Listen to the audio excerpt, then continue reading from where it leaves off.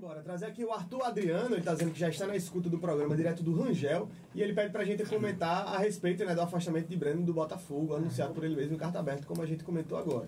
Olha, é, a gente teve esse episódio né, recente com, do Breno com a imprensa.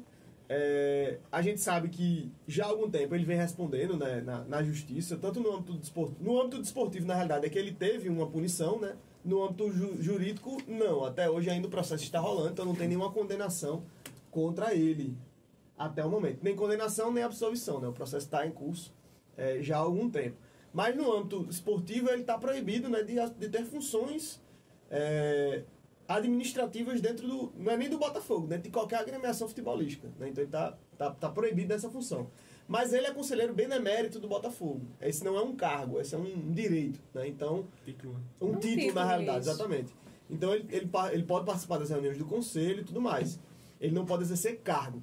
Então, o que ele, quando ele lança essa nota, o que eu imagino é que ele vai se afastar dessa função de conselheiro benemérito, efetivamente. Né? Então, ou seja, não, não, não se espera mais vê-lo nas reuniões do conselho, no dia a dia na maravilha do contorno. Diga-se de passagem, a gente que frequenta com alguma, com alguma periodicidade a maravilha, faz muito tempo que eu não vejo o Breno na maravilha. Assim, a última vez que vi foi um evento específico, um evento até de recebimento da imprensa. Né? Mas ver ele chegar. Acho que a gente viu ele naquele dia do de, de A, não foi? Salvo engano. Tava lá com o Diário. Ele Pronto. tava. Isso, beleza. Bem, bem, lembrado, bem lembrado, verdade. Mas assim, não é um cara que tá todo dia. Não é o Afonso que tá lá, que a gente vai todo dia tá lá. O Paulo Vitor, que tá, todo dia tá lá. Né? O próprio Alexandre, Raimundo Nobre, enfim, essa turma que todo dia a gente vai no, na, na Maravilha, eles estão por lá. Né? Então, é... Então, eu, eu, imagino que seja isso. Eu imagino que seja ele não acompanhar mais a delegação, imagino que seja ele não ir mais ao vestiário, né? E aí não sei do ponto de vista financeiro se isso vai afetar. Eu acho que não. Eu acho que financeiramente ele não vai abandonar é, o Botafogo. Acho que ainda vai continuar sendo um cara que investe no clube. É, acho que vai continuar sendo um cara que quando alguém for fazer uma contratação, alguém possa ligá-lo. Né? Eu acho que essa saída que ele anuncia é muito mais no sentido dele estar tá ali no ambiente do jogo, dele estar tá ali circulando onde a imprensa está e que, tem, e que, e que teve a situação lá como foi, né? É, então eu acho que é por aí. Eu acho que, que, que o que essa nota tenta dizer é nesse aspecto. E também, obviamente, é muito uma nota de gerenciamento de crise também, né? E aí, nessa expectativa, podia até ter saído um pouquinho antes, no começo da semana, talvez, para dar uma aliviada, né? Porque, de qualquer modo, quando sai agora, acaba levantando o tema de novo, né? Mas é, é, a gente até estava conversando aqui em off, né? uma nota muito bem escrita. Enfim, alguém escreveu uma nota boa em relação ao Botafogo, porque só é. saía é, direcionamento mais ou menos. Mas é isso, então eu, eu acho que, na, na minha visão, Arthur, respondendo a tua pergunta, o que dá pra gente analisar de agora é isso. O desdobramento fa factível é isso, na minha visão. E o que vai ser, de fato, na realidade, o que é que vai acontecer no dia a dia, aí só a gente acompanhando mesmo para ver é. o que é que vai, o que é que acontecerá nos próximos dias. Vamos com mais alguns. Mas Iago falou um pouco da percepção dele diante dessa nota, porque a, as dúvidas dos ouvintes era se ele estava se afastando também como um investidor que é do Botafogo, e a gente acredita que não, que está se afastando aí desta desse título que ele tem, né, como só, é só não, é sócio conselheiro benemérito, Aliás, conselheiro, conselheiro benemérito, né?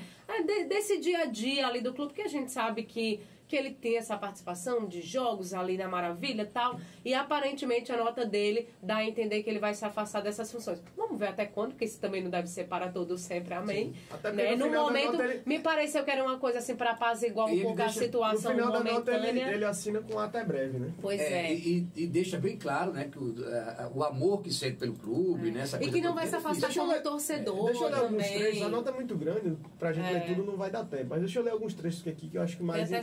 Mais importantes. É, ele, ele, ele começa aqui né, dizendo que é hora de parar.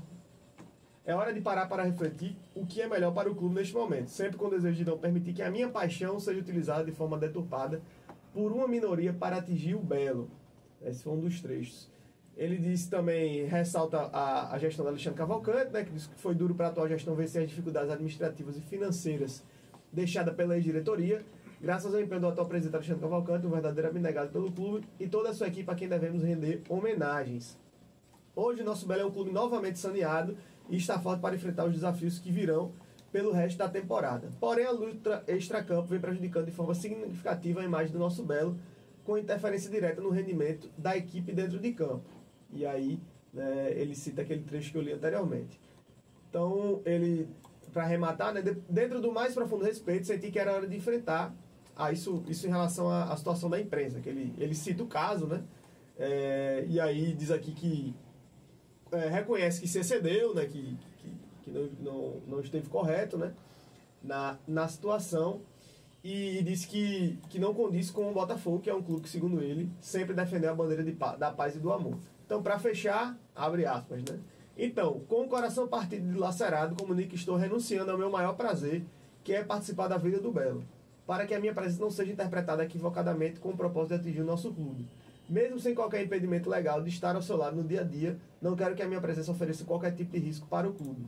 Não é um adeus, pois continuarei torcendo e vibrando para que nossas lutas sejam nossas glórias. Até breve, Breno Moraes de Almeida. A nota está disponível eh, já em alguns locais, entre eles o Paraíba Já, o portal paraibajá.com.br, que tem uma notícia, uma matéria né, que traz aí essa nota.